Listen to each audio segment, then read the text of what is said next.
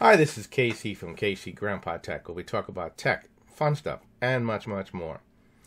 Um, sit back, relax, hit the like channel, and subscribe. And uh, today I'm going to be bringing you a product review. Hey, how many of you have gone out at that time when the sun is just setting, or you're going out at nighttime and some gagoots has got his high beams on, and you're like, okay, ah, I like to shoot you. You know what I'm talking about? But you can't. So what do you do about it? So I've looked looked around and I had tried a couple of different visor products, and most of them were junk. Couldn't didn't work. Didn't do the job. So I checked out this product by and Howell.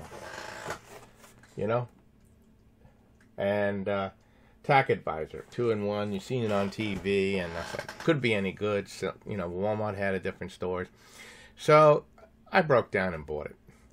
And as you can see in their ad, it says that you know you, you bring down the polarizer in the daytime, and it allows you to see clearly, and uh, you put it at nighttime and helps you overcome that. So I I got it, installed it in my car. Let's go take a look and see what it looks like good grab on it. The only negative, of course, because it is wider uh, and because it's not two clips, uh, it does cover over the uh, vanity mirror. So unless, but that's not a major thing. I mean, how many people really use the vanity mirror? I know I don't.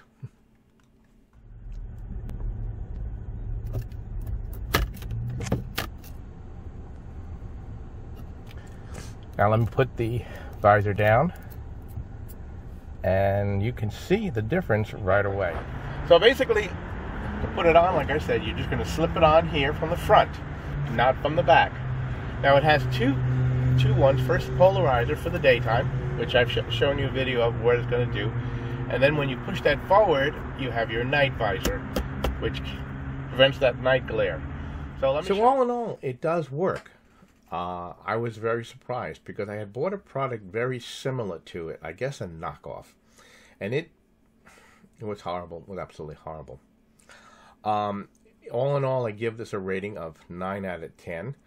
Uh, the things I don't like about it is the clip, uh, because it does prevent you from using the visor mirror if if that's important to you. The other thing that it could be improved on it is that the the actual size of it, okay, should be a little longer going down.